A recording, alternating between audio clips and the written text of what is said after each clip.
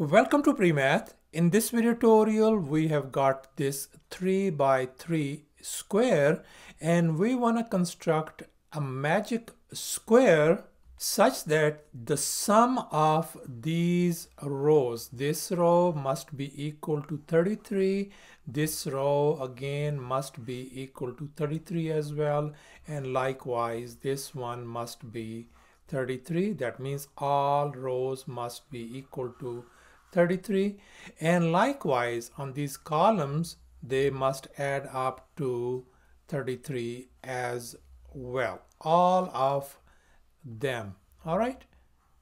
So that means sum of all columns must be equal to 33 and furthermore the sum of this main diagonal must be equal to 33 as well as well as this minor diagonal must be equal to 33 that means sum of all these diagonals must be 33 as well.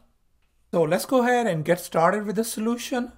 And at the beginning I will go slow to make sure that all steps are being understood and now our task is to replace all these question marks by appropriate number such that when we add those rows and columns, we must have equal to 33. So now let's get started with just this one number which is 7 given to us and I will show you a super easy way to construct any 3 by 3 magic square in just few seconds. And now I will show you few rules that we are going to follow to construct this magic square. And here's our very first rule. We will always go in this diagonal direction to the top right. That means we are right up here.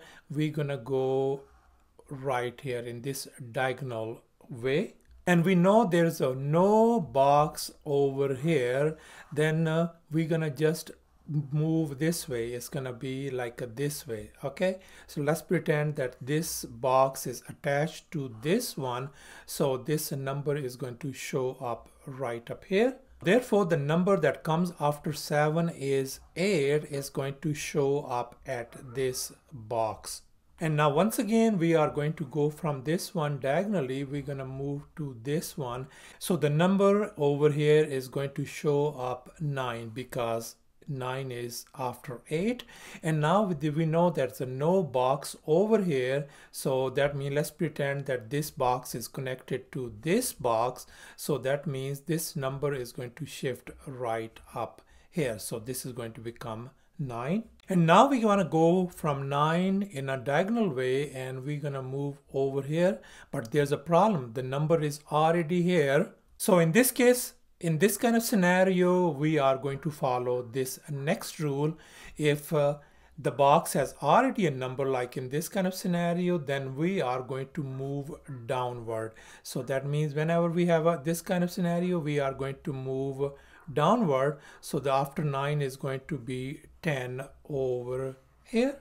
And now let's follow the rule again. We are going to go diagonally after 10 is going to be 11 once again we're going to go diagonally.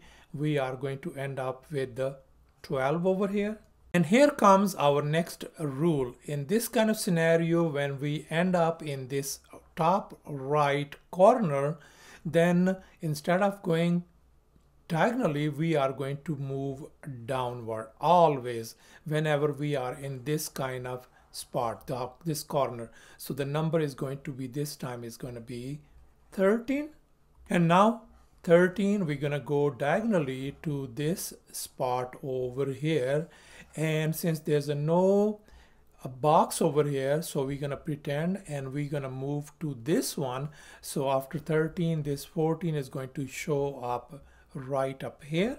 Now, once again, we're going to go diagonally and we're going to end up over here this number is going to be 15 and let's pretend that this box is connected to this box so that means this number is going to become 15 and thus here's our solved magic square with all the answers you can see Thanks for watching and please don't forget to subscribe to my channel for more exciting videos. Bye.